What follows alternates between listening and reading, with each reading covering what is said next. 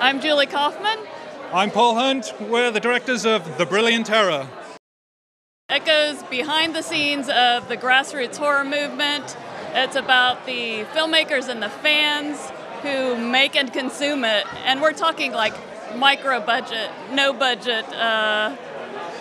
This is under $10,000 filmmaking, zero budget, and the guys and gals that love making horror. It's, it's yeah. The, the joys and pains and uh, creative uh, obsessions that they go to.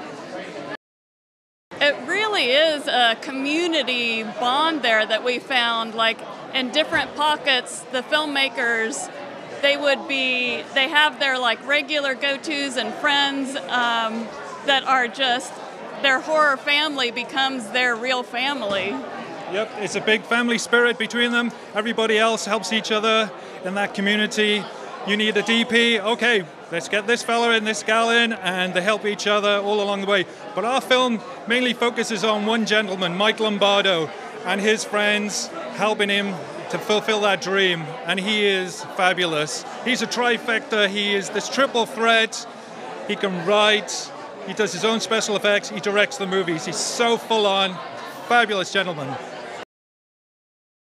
documentary filmmaking is often the opposite of regular filmmaking in that you're gathering footage, you have a seed of an idea that you start to work with, and as you gather footage, talk with people, uh, film behind the scenes, then you see what you have and see where the story takes you.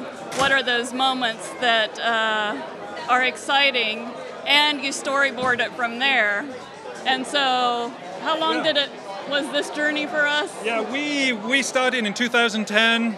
We had a seed of an idea back then, but then we met this guy Mike Lombardo, and that took us on this another seven-year journey after we'd finished filming. So.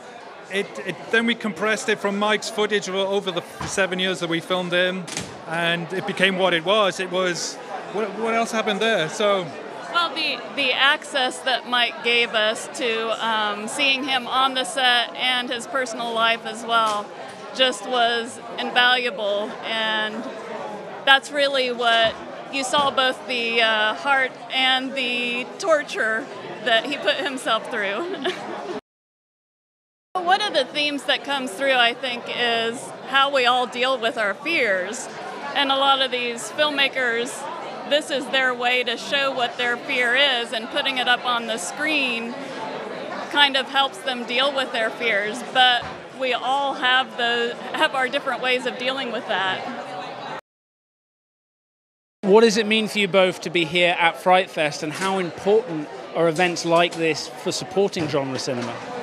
This is just a complete thrill when we got the email from Alan saying, Would you like to come to Fright Fest? It was, we were in shock. We were just kind of walking around like, Is this real? Is this happening? Um, yeah, this is uh, one of the premium genre festivals in the world. It is a huge honor to be invited to be part of the festival. We follow all the filmmakers here. One of the gentlemen that's uh, showing Slapface he directed Slapface, he's in the documentary, and to have us as a double bill at the fest, even better. So, such a joy for us. And the Empire. Yes, at the Empire, Leicester Square. This is where I came to see movies all the time. I saw Jurassic Park here. My goodness, what a thrill to be at this cinema. so, kills my toes.